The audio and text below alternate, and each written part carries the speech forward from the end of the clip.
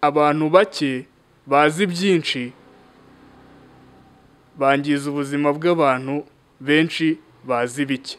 Ngewe rero icyo nje icyo umwihariko wanjye ni ukugira ngo n'abo bazi bikeya mbavugire kuko abo bazi byinshi nibo bavuga gusa. Hari hari ongera usubiramo ako kantu. Abantu bazi bikeya? Abantu abantu bake bazi byinshi. Bangiza ubuzima bw'abantu benshi bazi bike. Mwongeye kwirirwa inshuti bakunze mu mavu TV online nizere ko mumeze neza mukomeje kugira ibihe byiza cyane mwe muherereye hirya no hino mu mpande z'igihugu cyacu cy'u Rwanda. Eh, turabakunda cyane kandi dukunda uburyo mutwitaho uburyo mutwereka ko muri kumwe natwe ndetse eh, mukora like munasharinga video tuba twakoze. Eh, iyo rero mubikoze tu- muba mutugaragariza urukundo.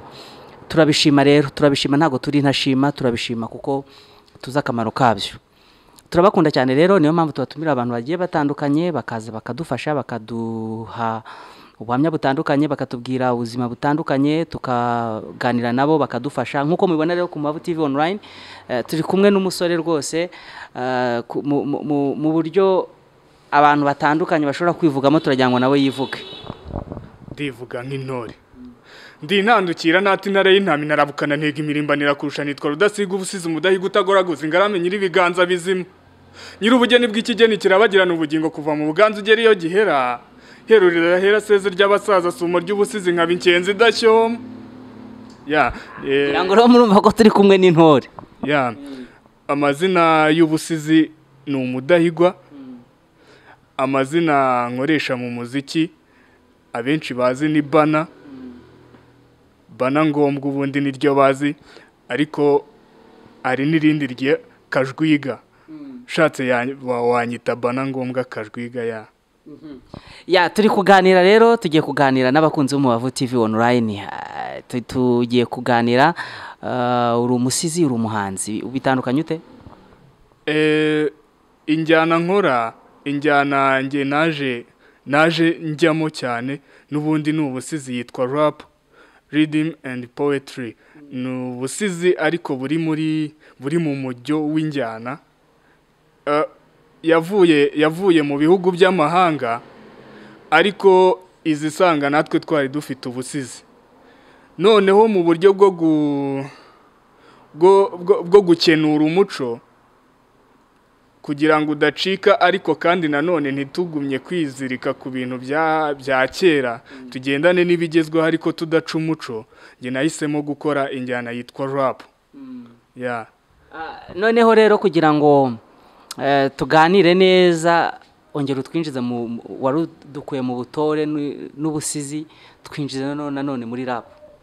Ya yahuye nawe bwa mbere agusanga ni uburere. Abo yabonye bose arebye asanga urabarenze. Yakwiyegereje gati imitima ikora ibyayo. Mubitse nyamabanga umwaka abera undi muganga. Inshuti zanyu zabibonye byarabaye mahwi. Mukundana urw'ibanga mwese muruca ikibungo. Mukarubungabunga ni igihunga ari urumangwa mutinya kubivuga ngo mutahatera ibaba nyamara inshuti zanyu zabonaga uko bimeze. Zikabona ikizavamo kizaza kizi neza. Mwakundanye mukwiranye muhuje ibintu byose. Mwahuje inshuti n'imiryango mwirinda uburyarya.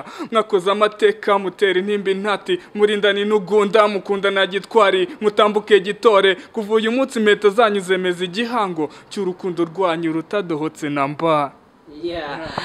Nizere ko rero abadukurikiye muri kano kanya ah, turi kumwe n'umusizi rwose kandi murumva ko birimo biza. Ah, ndagira ngo noneho dutangire twinjire muri kariyeri yawe watangiye gukora umuziki ryari? Eh, tubwire igihe wabitangiriye. Eh, ndabyibuka kera nkiri akana gato niga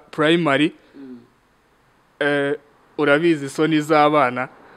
Nigeze gukora indirimbo ewe ntaranumva na radiyo cyokoze icyo gihe twajyaga tubyina za gatito ndabyibuka mu birori. Ariko kubera nari mfite umukecuru uba mu bintu bya kiliziya cyane noneho umunsi umwe ndavugana ariko sinari ntaba no muri korari nta kintu na kimwe mbizo ndavugana ariko ko numva indirimbo ubundi njye wakandika indirimbo. Nari mfite imyaka eh, nk'umunani icyenda gutyo. Ndayandika arambwira ati yinyigishe ngira isoni. Noneho ngeze mu wa gatandatu pirimeri ni bwo natangiye kumenya ziriya ndirimbo igikara ya Dr. Claude imbwira ya Miss Jojo.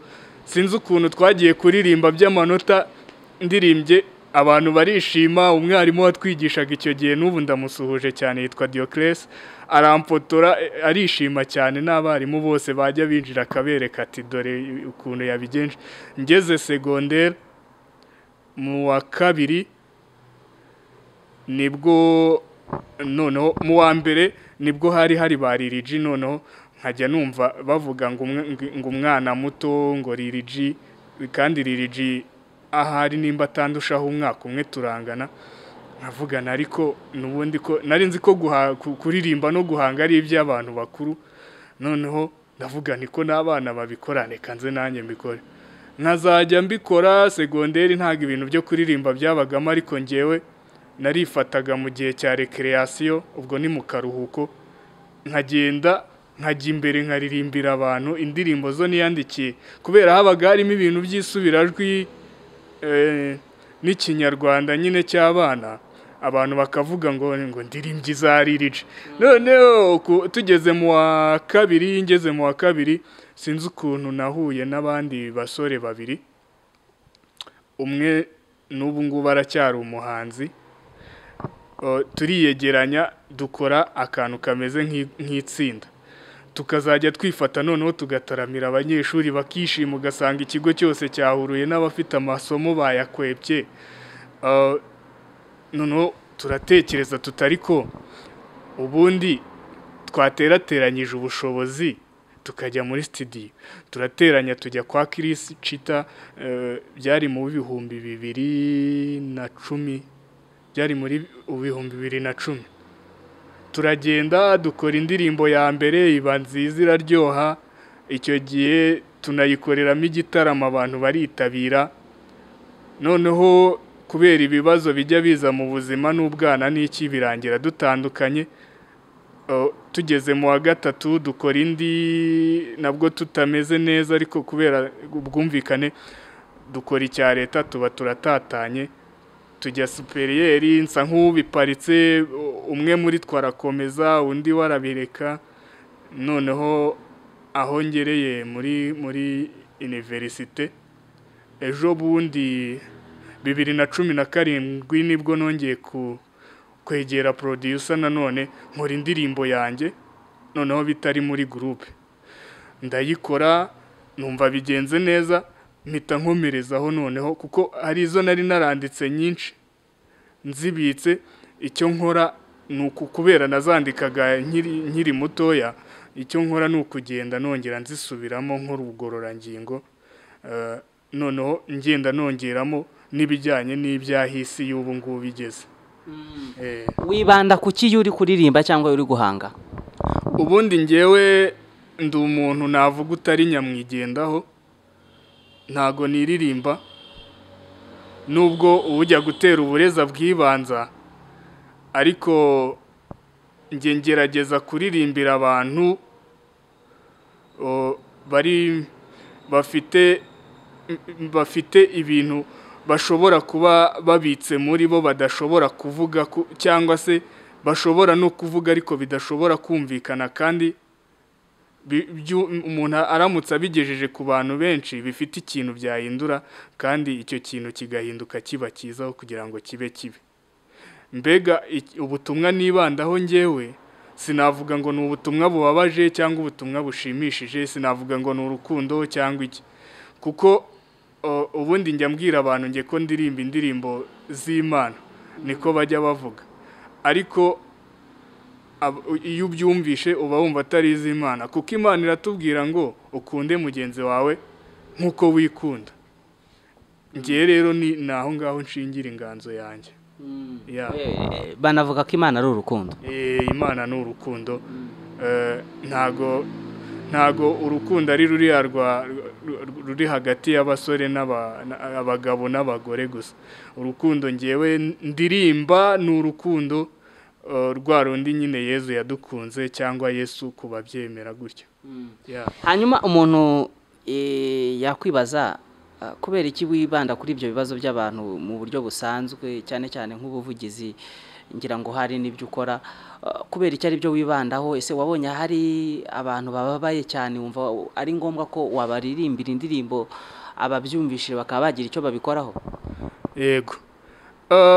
Nanone eh, icyo kibazo mbajije ni cyiza. Hari akandi kantu narebye uko isi igenda itera imbere Eh, iterambere rizaza eh, ikoranabuhanga riza niko abantu bagenda barushaho kwirengagiza abantu bababaye.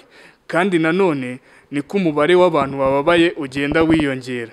Nanone ikindi niko ubuzima bugenda bubiha kubera iki? Abantu bake bazi byinshi bangiza ubuzima bw'abantu benshi bazi bike. Ngewe rero icyo nje icyo umwihariko wanjye ni ukugira ngo n'abo bazi bikeya mbavugire kuko abo bazi byinshi nibo bavuga gusa. Hari hari ongera usubiramo ako kantu. Abantu bazi bikeya? Abantu abantu bake bazi byinshi bangiza ubuzima bw'abantu benshi bazi bike. Eh, bivuze ngo abantu n'ubundi ba rubanda rutoya rukomeza kuhangirikira. Niko ubibona nawe? Cyane ubundi ni na ni na cyo nshingiraho mpanga ngewe kubera ko eh, ubundi ngiye kuvuga iby'abantu bariya abantu baba bishimye n'ubundi gusa hari benshi babivuga abantu benshi barabivuga ariko bariya bantu barirengagizwa cyane usanga abantu babivuga ni- ba nyamuke ubundi abantu bajyaga bakunda kubivuga ni abantu bariya ba- ba- ba- ba- navuga inkomarume z'umuziki abantu batangije rege n'abatangije hip hop nibo bantu bagiye bakunda kuvuga neza ku buzima bw'abantu ba- ba- benshi bazi bike. Kandi ugasanga cyane cyane nka hip hop mu gihe cy'ubucakara ubundi ni naho ni na- ni- ni na yo nkomoko yayo. Abirabura ba- ba- bashatse uburyo bazajya bavugira hamwe ubutumwa kandi bukomeye bi- bisa nk'aho ari ukwigumura baranabizira ni byo byaje kubyara hip hop. Yatangiye ari injyana yo kwirwanaho. Eh, rege rero na yo amateka yayo abantu barayazi eh, n'abantu bagiye bayiririmba akenshi na kenshi bajyaga bavuga ibintu bikomeye. N'ubu ngubu eh, abantu bagenda ba- rimwe na rimwe bagenda babyibuka. Niyo mpamvu rero nanjye ndareba ahantu isi iri kwerekeza abantu bibereye mu tuntu utuntu mbega tumeze nk'uduhenda abana kandi nyamara ibyo bintu ni byo biri kwangiza isi. Ugasanga ntabwo iri kuba nziza ahubwo iri kuba mbi. Na bake bavuga ko ari nziza ugasanga akenshi na kenshi bavuga ko ari nziza ariko nabo baba bafite ibibazo byabo hagati yabo. Kubera iki? Kubera kwa kundi ko gushaka ko abantu abo bantu navuze benshi bajya munsi y'inkweto zabo bagakandagira bagasyonyora. Yeah. Eh, hanyuma i- ibihangano byawe ubifashwamo nande kugira ngo ubishyire muri studio?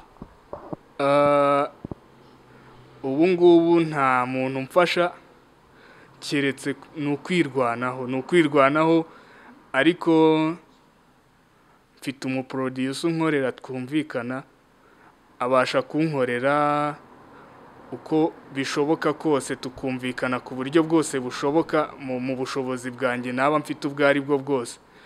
Eh, nawe mushimira yitwa manzi.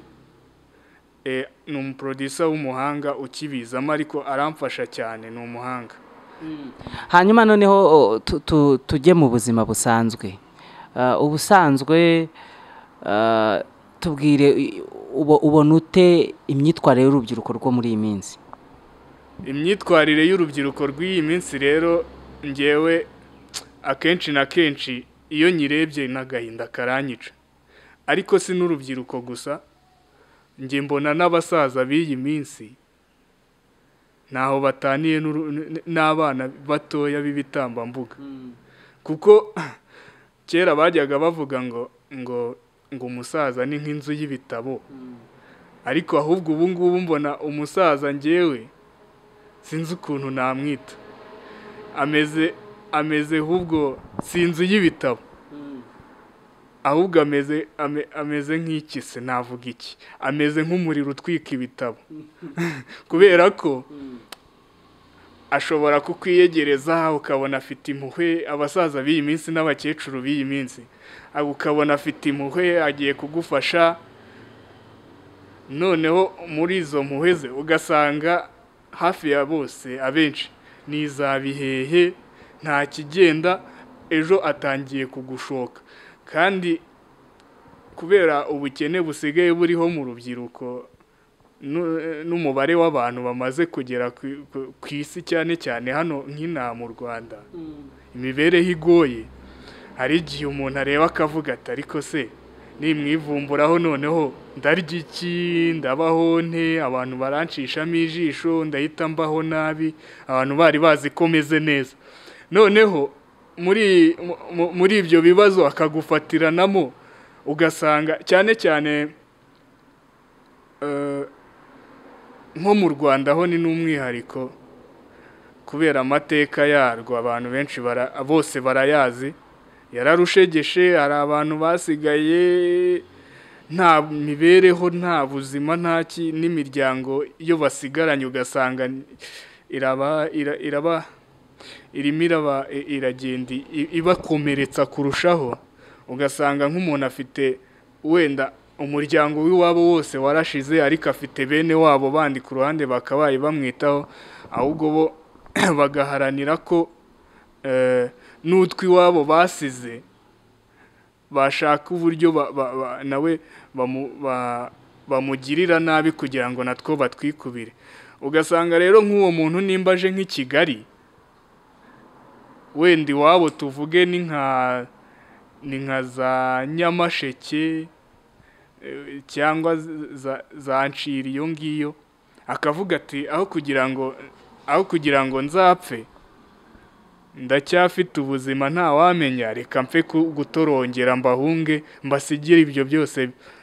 Akaza agahangayika. Kandi wenda uh, wasanga umuryango we wari umuryango wifashije ubayeho neza. Noneho yaza yagera mu mujyi ubwo urumva icyo yakora cyose kugira ngo abeho aragikora. Rero birambabaza bigatuma ngewe n'indirimbo nyinshi nkora. Uretse yuko ibyo ibintu byose umuntu aba abona cyangwa atekereza cyangwa se yumva atashobora kubishyira nko mu ndirimbo keretse wenda umuntu akoze filime. Ngewe indirimbo zanjye bisaba byasaba byasaba umuntu cyane cyane bi- ni njye bibanza gusaba kuzisobanura ikindi bigasaba umuntu nanone wishyira mu mwanya w'icyo kintu ndi kuvuga. Abo bantu rero nibo bahura n'ibyo bisaza.